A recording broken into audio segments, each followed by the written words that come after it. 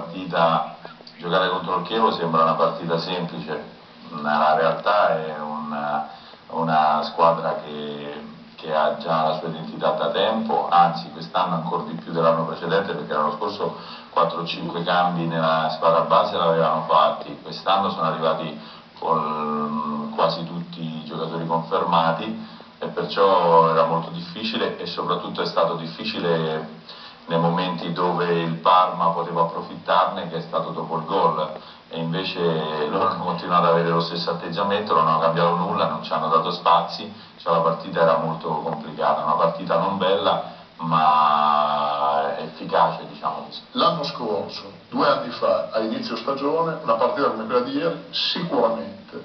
non l'avremmo vinta. Sei d'accordo?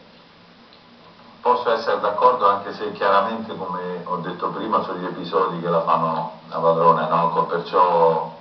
io sono altresì convinto che per esempio se non danno il gol eh, di, di, di Pirlo la partita la giochiamo fino in fondo, sono convinto di quello. L'aspetto che, che ha cambiato per quanto mi riguarda e che sono d'accordo con te è, è quello che diceva anche Cerri, è la voglia di giocare, che porta anche a degli errori, perché se voi andate a vedere le azioni più pericolose da parte del Chievo vengono dall'esasperazione di cercare di giocare palla e di non buttarla.